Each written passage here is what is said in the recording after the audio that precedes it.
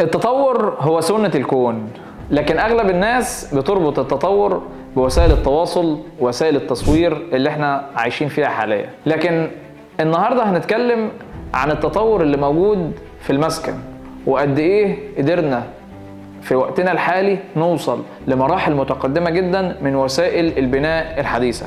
النهاردة بنتكلم في السمارت هومز طريقة التحكم في المنازل بتاعتنا عن بعد.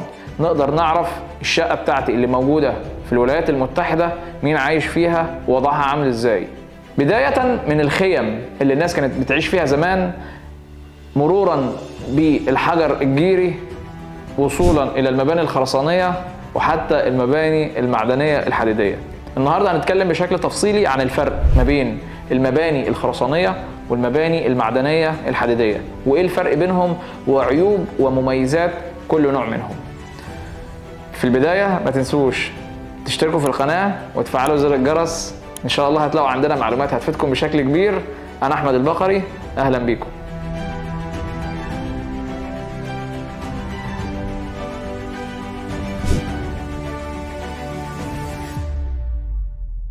في البداية خلينا نتكلم على المباني الخرسانية لأنها الأكثر شيوعا وأكثر تقليديا في مجتمعاتنا اللي إحنا عايشين فيها.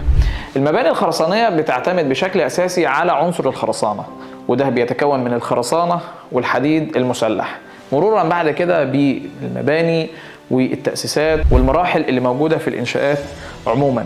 لكن يا ترى ليه الناس دايما بتفضل المباني الخرسانية؟ الخرسانة هو مادة أو عنصر إنشائي بيدي قوة ومتانة وثبات للمنشأ بشكل كبير. لذلك بنلاقي المباني الخرسانية كوزن وزنها أكبر بشكل كبير من المباني الحديدية. وده بيديها ثبات بشكل أكبر في حالة حدوث لا قدر الله هزه أرضية أو أي نوع من أنواع الكوارث.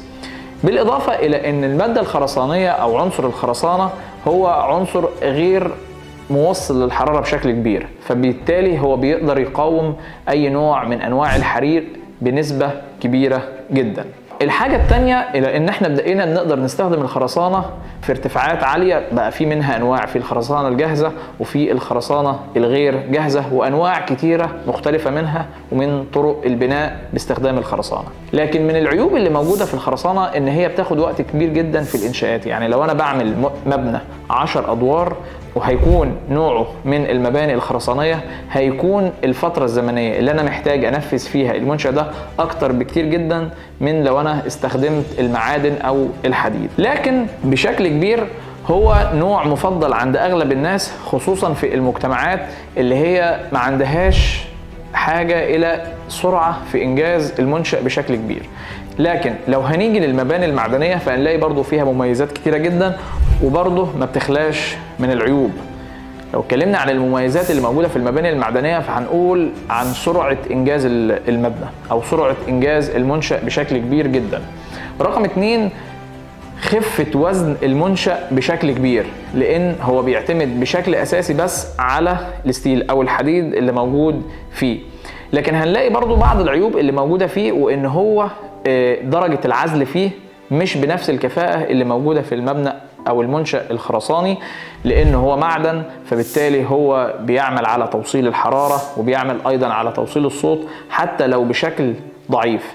فبنضطر إن إحنا نستخدم أدوات تساعد على العزل فبالتالي التكلفة بتزيد عن المنشأ الخرساني اللي أنا مش هستخدم فيه نفس الدرجات أو نفس المواد اللي بتستخدم في العزل.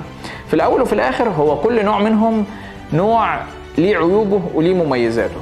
نقطة بسيطة حابب أضيفها في المباني المعدنية أو الحديدية إن أنا بلاقيها أكتر منتشرة بشكل كبير في المولات أو المحطات القطار أو الأماكن اللي هي فيها نسبة أو مساحة كبيرة جدا من الإنشاءات ومحتاجة لسرعة في التنفيذ. فبضطر إن أنا أعمله من المباني المعدنية. مش هيفرق معايا بشكل كبير موضوع العزل سواء حرارة أو صوت. قد ما هيفرق معايا المدة الزمنية اللي أنا أقدر أنفذ فيها المشروع بتاعي.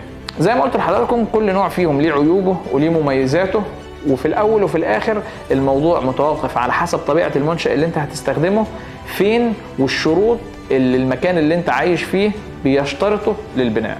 بعد لما سمعت عن المباني المعدنية والمباني الخرسانية لو عندك حتة أرض وعايز تبني فيلا هتعملها خرسانة ولا تعملها حديد